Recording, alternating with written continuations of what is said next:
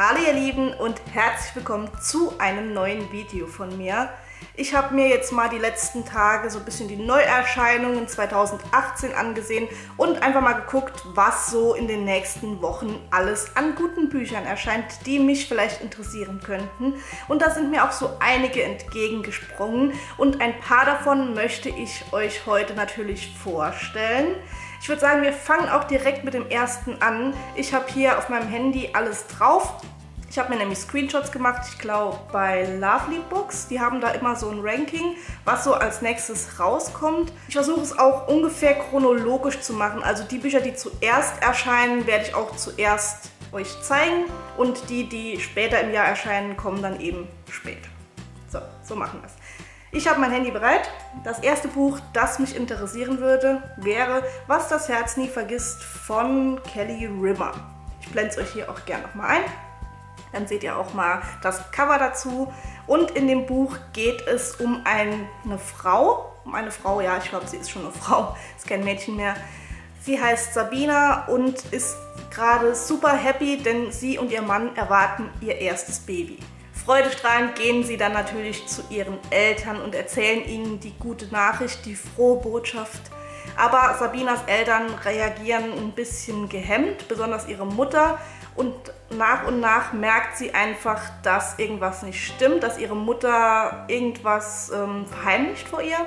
Und dann kriegt sie raus, dass sie selbst von ihnen adoptiert wurde. Und dann stellt sich natürlich die Frage, wie kann man als Mutter das eigene Kind weggeben. Sie wird ja jetzt auch Mutter und könnte sich gar nicht vorstellen, das Baby, das in ihrem Bauch lebt, so direkt nach der Geburt wegzugeben. Dann beschließt sie, sich auf die Suche nach ihrer leiblichen Mutter zu machen. Sie hat tausend Fragen an sie und das Warum ist nur eine davon. Und dann steht hier noch, doch was sie entdeckt, erschüttert nicht nur ihr eigenes Leben.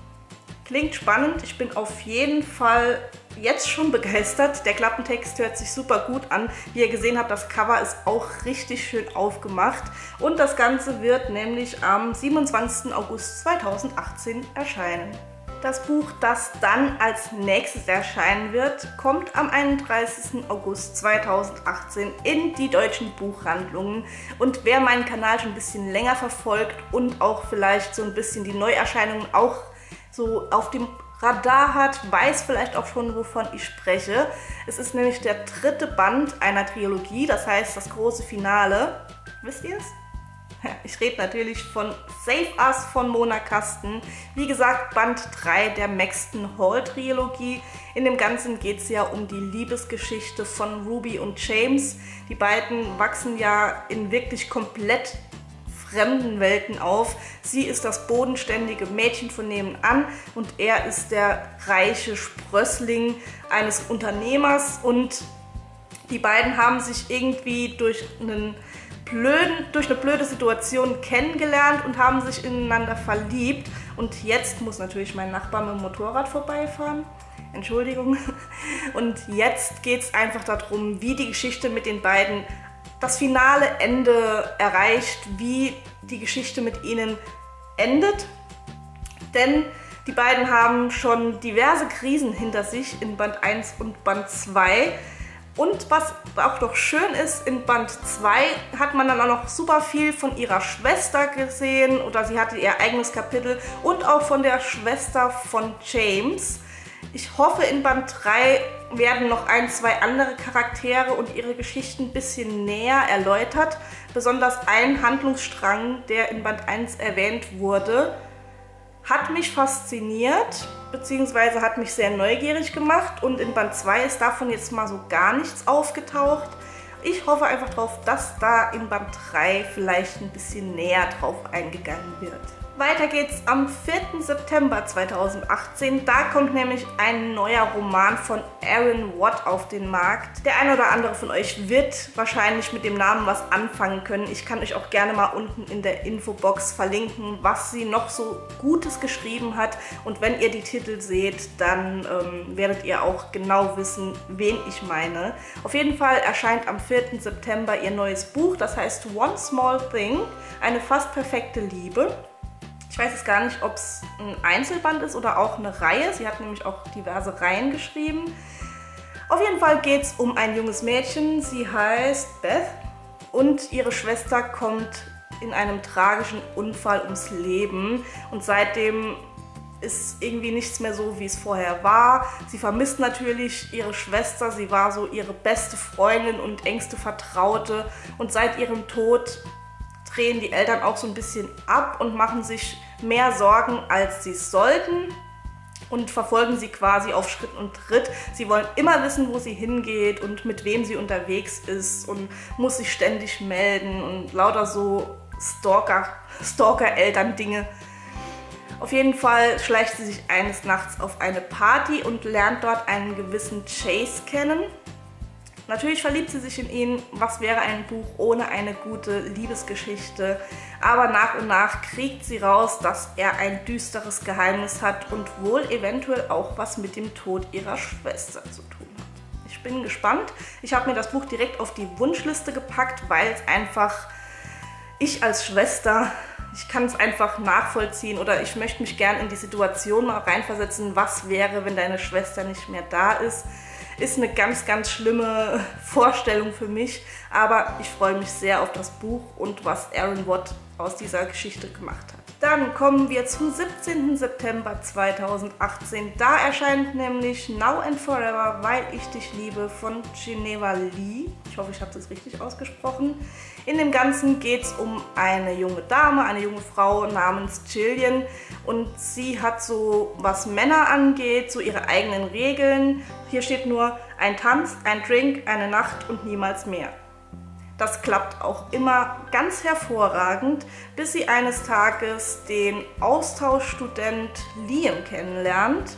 Und der findet sie richtig gut und möchte nicht nur eine Nacht mit ihr verbringen und dann auf Nimmerwiedersehen, sondern er möchte sie einfach näher kennenlernen. Er möchte, dass sie vielleicht eine gemeinsame Zukunft haben und setzt wirklich alles dran, um das auch zu erreichen. Jetzt ist halt die Frage, die im Raum steht, wird er es schaffen, dass Jillian beginnt ihm zu vertrauen oder endet es im Chaos und sie zieht ihre Regeln konstant durch. Aber ich hoffe ja immer noch auf ein Happy End. Ich bin ja so ein Happy End Junkie und wenn ein Buch kein Happy End hat, ich weiß nicht, das mindert irgendwie immer so die Freude an dem Buch für mich. Ich weiß ja nicht, wie das bei euch ist. Ich mache hier oben mal eine Abstimmung, auf was ihr in Büchern mehr steht lieber auf ein Happy End und dass man mit einem glücklichen Gefühl aus dem Buch geht oder so richtig Drama, Drama mit einem bösen, bösen Ende, nenne ich es jetzt einfach mal, dass man einfach denkt, wow, damit hätte ich jetzt gar nicht gerechnet. Das macht ein gutes Buch für mich aus. Stimmt mal bitte dafür ab. Und dann last but not least, am 28. September 2018 kommt von Renee Ady, ich hoffe, das spricht man so aus, das Mädchen aus Feuer und Sturm. Und ich lese euch jetzt einfach mal die Inhaltsangabe vor und ihr dürft mir mal verraten, ob ihr an das Gleiche denkt, wie ich beim Lesen gedacht habe. Es erinnert mich nämlich an einen Film, den wahrscheinlich jeder von euch schon gesehen hat. Wir schauen mal. Mariko ist die Tochter eines mächtigen Samurai und kennt ihren Platz im Leben. So klug und erfinderisch sie auch sein mag, über ihre Zukunft entscheiden andere. Als sie erfährt, dass sie den Sohn des Kaisers heiraten soll, nimmt sie ihr Schicksal hin. Doch auf dem Weg zu ihrer Hochzeit entkommt sie nur knapp einem blutigen Überfall und nutzt ihre Chance, die Freiheit zu kosten. Als Junge verkleidet schmuggelt sie sich unter die Banditen und lernt eine ganz neue Welt kennen. Und sie verliert ihr Herz ausgerechnet an den Feind. Geht es nur mir so? Oder erinnert euch das auch ein bisschen an Mulan? Ich meine, so ein paar kleine Feinheiten oder identische Linien lassen sich erkennen. Ich meine, Samurai passt natürlich auch zu Mulan. Der Kaiser taucht auch bei Mulan auf. Sie verkleidet sich als Junge. Ihre Eltern entscheiden für sie ich weiß ja nicht, vielleicht ist das auch einfach die moderne, nicht Cinderella-Story, sondern die moderne Mulan-Story. Ich lasse mich auf jeden Fall überraschen und freue mich schon auf das Buch, wenn es dann Ende September rauskommt. Ich habe mir jetzt auch alle fünf auf die Wunschliste bei Amazon gepackt. Die habe ich ja auch immer unten in meiner Infobox. Also wenn euch mal interessiert, was ich so in nächster Zeit gerne noch kaufen oder und oder lesen möchte, dann schaut einfach mal da rein. Da kommt ständig was Neues drauf. Und vielleicht kann ich euch ja damit auch die ein oder andere Inspiration mitgeben. Das war's von heute, von mir. Von heute, von mir, ja, gutes Deutsch. Das war's auf jeden Fall für heute von mir, so sagen wir's. Ich wünsche euch jetzt noch einen wunderschönen Tag. Ihr dürft mir auch gerne mal in die Kommentare schreiben, auf welche Bücher ihr euch so in den nächsten Wochen freut. Vielleicht ist da ja auch das ein oder andere für mich dabei, das ich jetzt nicht entdeckt habe bei meiner Recherche. Ansonsten macht euch einen schönen Abend. Ich wünsche euch alles, alles Gute. Wir sehen uns am Sonntag wieder. Tschüss!